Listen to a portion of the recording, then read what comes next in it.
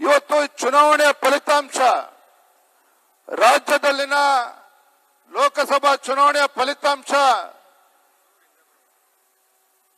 ಇವತ್ತು ನಮ್ಮ ಕರ್ನಾಟಕ ರಾಜ್ಯ ಅಂತ ಹೇಳಿದ್ರೆ ದಕ್ಷಿಣ ಭಾರತದಲ್ಲಿ ಕರ್ನಾಟಕ ರಾಜ್ಯ ಇವತ್ತು ಭಾರತೀಯ ಜನತಾ ಪಾರ್ಟಿಯ ಭದ್ರಕೋಟೆ ಅನ್ನೋದನ್ನ ಮತ್ತೊಮ್ಮೆ ಲೋಕಸಭಾ ಚುನಾವಣೆಯಲ್ಲಿ ಸಾಬೀತಾಗಿರ್ತಕ್ಕಂಥದ್ದು.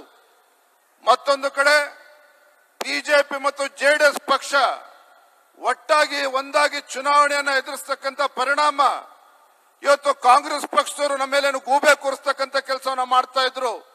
ಇವೆಲ್ಲವನ್ನು ಕೂಡ ಧಿಕ್ಕರಿಸಿ ಇವತ್ತು ರಾಜ್ಯದ ಜನ ಆಶೀರ್ವಾದ ಮಾಡಿದ್ದಾರೆ ಅಂತಕ್ಕಂಥದ್ದು ಹೆಮ್ಮೆ ತರ್ತಕ್ಕಂಥ ವಿಚಾರ. ಈ ವೇದಿಕೆ ಮೂಲಕ ಮತ್ತೊಂದು ಮಾತನ್ನೇ ಸಂದರ್ಭದಲ್ಲಿ ಹೇಳೋದಕ್ಕೆ ಇಚ್ಛಪಡ್ತಾನೆ ಚುನಾವಣೆ ಕಳೆದ ನಂತರ ಲೋಕಸಭಾ ಚುನಾವಣೆ ಫಲಿತಾಂಶ ಬಂದ ನಂತರ ಇವತ್ತು ಮಾನ್ಯ ಮುಖ್ಯಮಂತ್ರಿಗಳು, ಉಪಮುಖ್ಯಮಂತ್ರಿಗಳು, ಸಚಿವರು ಒಂದು ಮಾತನ್ನ ಹೇಳ್ತಾ ಇದ್ದಾರೆ. ಲೋಕಸಭಾ ಚುನಾವಣೆಯಲ್ಲಿ ಕರ್ನಾಟಕ ರಾಜ್ಯದಲ್ಲಿ ಒಂಬತ್ತು ಸಂಸದರನ್ನ ಗೆದ್ದಿದ್ದೇವೆ ಅಂತೇಳಿ ತಮ್ಮ ಬೆನ್ನನ್ನ ತಟ್ಕೊಳ್ತಕ್ಕಂತ ಕೆಲಸ ರಾಜ್ಯದ ಆಡಳಿತ ಪಕ್ಷ ನಡೆಸ ಸದಸ್ಯರು ಮಾಡ್ತಾ ಇದ್ದಾರೆ. ಆದ್ರೆ ವೇದಿಕೆ ಮೂಲಕ ಮತ್ತೊಂದು ಮಾತನ್ನ ಹೇಳೋದಕ್ಕೆ ಇಚ್ಛಪಡ್ತೇನೆ.